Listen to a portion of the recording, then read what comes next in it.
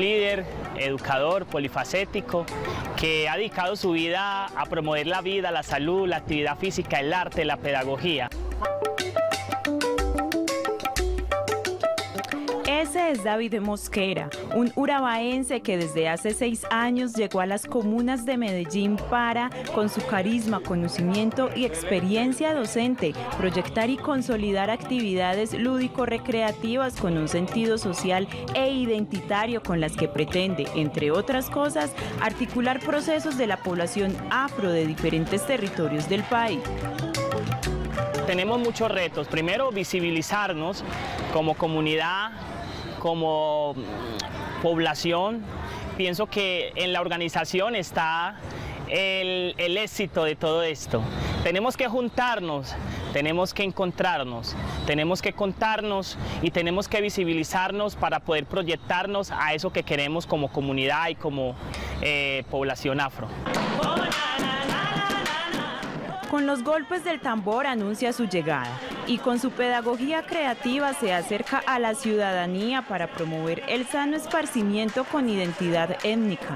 Todo a través de Ecotambor, un sueño que nació en el corazón de este docente hace más de 15 años en el Urabá consolidado en una visita a Estados Unidos. Hoy en su materialización busca llevarlo a todos los rincones de Colombia para imprimir momentos de alegría en la cotidianidad de las personas. Ecotambor es una empresa creativa y cultural que trabaja por el sano esparcimiento de las familias. Y lo hacemos a través del arte, la recreación, la pedagogía, siempre educando a través de esta propuesta musical, artística y esa es la puesta en escena, poder educarnos a través de las manifestaciones artísticas y hacer procesos, porque necesitamos dejar huellas y dejar semillas para que sigamos educando a través de esta propuesta RAP, Recreación, Arte y Pedagogía con mucho talento, pero sobre todo con mucha conciencia se pone en marcha, principalmente en entornos escolares, al son del tambor, con el cónclave y cantos junto a Helen Quinto y otros actores aliados en Nueduca a comunidades educativas. Necesitamos educar, necesitamos aprender, necesitamos conocer de dónde venimos. Y por eso nosotros promovemos todo este tema étnico porque es muy importante amar nuestra raíz, es importante tener identidad y por eso de una u otra forma nos hemos articulado, hemos sido como un canal, un puente de inspiración para muchos jóvenes, de otra forma también hemos sido eh, un espacio para, de entorno protector para la vida de ellos, para que ocupen el tiempo libre en cosas eh, realmente productiva, valga la redundancia, y nos hemos acercado a instituciones educativas y ese ha sido como el foco porque ahí tenemos la población y a la comunidad. Y como resultado de este trabajo hecho en Ecotambor, surge Urbanafro, una estrategia que nació hace dos años, pensando en los jóvenes del territorio. Esta semilla sigue germinando y eso se llama Urbanafro. Empezamos a, darles bases para que ellos se proyectaran en la ciudad y yo creo que lo hacemos muy bien. Yo me siento muy orgulloso cuando los veo a ellos debutando en escenarios.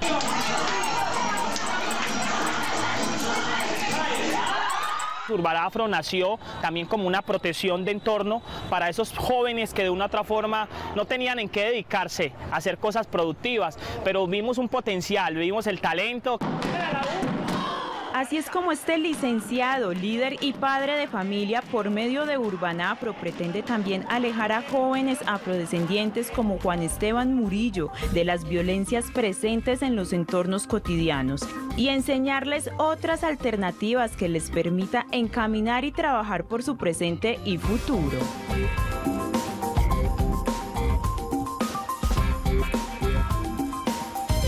Bueno, ¿por qué queremos bailar?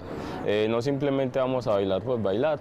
El principal objetivo de Urban Afro es precisamente resocializar, resocializar a los jóvenes de las BACRIM, de las bandas criminales, eh, precisamente generándoles un espacio de de interacción, eh, de participación ciudadana y cultural. ¿Cómo resocializamos a los jóvenes?